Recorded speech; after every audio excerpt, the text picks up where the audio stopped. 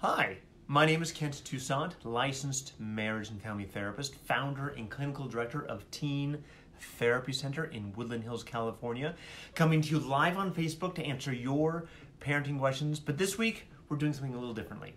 Uh, I was asked to speak at the Lights for Liberty vigil at the Sherman Oaks Galleria this Friday. It is a vigil across the country, many different locations, many cities, uh, having uh, big gatherings to talk about and discuss uh, the crisis at the border uh, with uh, child and family separations and what's happening there. And I will be speaking about the potential uh, trauma and dangers that children can face emotionally uh, from the child separation. My job here is not to talk to you about politics. You can believe whatever you want to believe Republican, Democrat, Independent.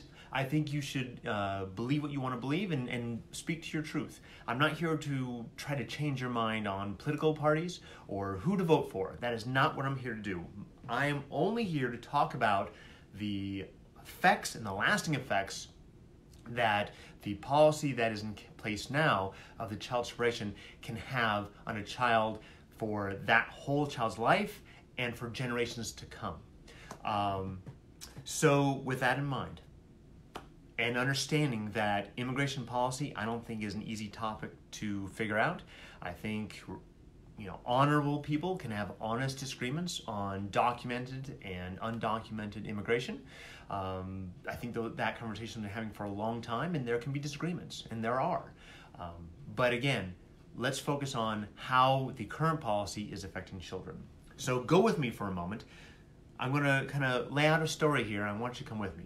Imagine you and your family are living in a city or country that is war torn, that is uh, ravaged by gang violence, uh, government persecution, and you've probably witnessed this, maybe have been a victim of it, and you've decided the best choice for you is to get out, find a better life somewhere else because staying here is untenable. So you make this trek across a country or countries, leave everything behind, risk it all to try to get to a better place. You get to the border, and because you cannot totally prove that you are the parent of these children, you are separated.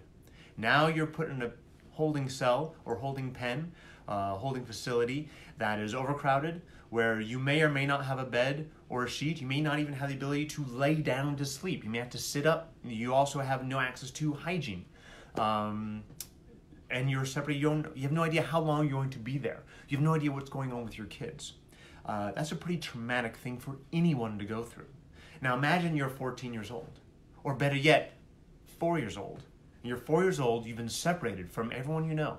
You have no concept of time. So whether it's three days or three months, it's traumatic. You have no idea what's happening. You have no idea where your parents are. And what we know in psychology is so much goes on in brain development between parents and children, of that connection, that closeness.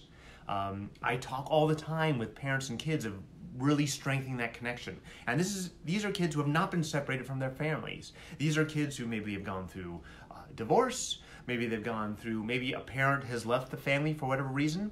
Uh, maybe it's family that's intact, but they're just they're so. Um, there's so much disconnection because of you know parents need to work. They're a busy family, too many screens, and that causes damage. Now imagine it's in a place where your detention center where you have substandard food even for a third world country and substandard water no hygiene you're all alone you're afraid that causes immediate and lasting damage to any child and i'll talk about what that is so when babies and children are, are young there's a lot of connection between parents and children through eye contact physical loving physical contact that helps develop healthy brain waves so kids start understanding what is safe and what is not safe. When there is severe trauma like separation, that that restructures the brain. So as that child grows to be an adult or even a teenager, their ability to recognize what is safe and what is not safe is impaired. That is lasting. That is hardwired. That takes a lot of work to repair, and that is not an easy thing to do. So what's happening is we are creating a situation where these children will grow up with lasting psychological damage. Whereas they grow up and maybe even as adults, they are more prone to lower IQ and ability to uh, have cognitive thinking skills, um, more risk of anxiety and depression, more risk of drug and alcohol abuse, more risk of violence, more risk of sexually acting out. Uh, and these keep re traumatizing. Every time they, a child or an adult, uses these maladaptive coping skills to try to repair or figure out how, how they're doing, they re traumatize themselves and they'll put themselves in re-traumatizing situations. They will push away from people who are they love and people who are safe because they don't know how to trust it. And so they'll they'll separate and they'll feel even more alone.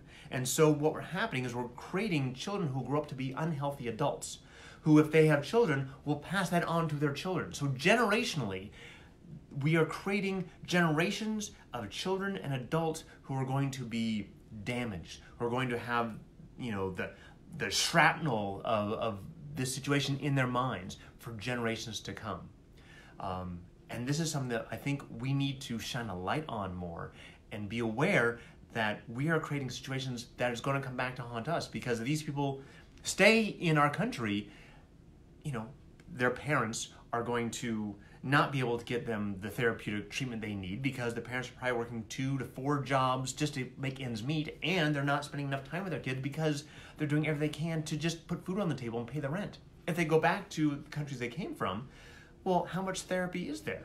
How much access, long term, stable therapy are these children going to have access to? My guess is very, very little. So I think it's important that we as a country take care of the most vulnerable, whether they're citizens or not. We have to find a better way to deal with this uh, this crisis of immigration. Um, for example, here, here's a quote I want to read to you. Many of you will recognize this. Give me your tired, your poor, your huddled masses yearning to breathe free, the wretched refuse of your teeming shore. Send these, the homeless, tempest tossed, to me I lift my lamp beside the golden door. Those of you who don't know what this is, this is the quote at the base of the Statue of Liberty. We were built on bringing people who are vulnerable and giving them a place to rise up. I'm not saying we have to let everyone in the country. I don't know how to handle that situation. I'm not saying I do. But should we treat them as farm animals or better or pack or just animals that that have no value? You know, these people are people. Whether they deserve to be in this country or not, again, is a different debate. And I don't want to debate that here. That's not what we're here for.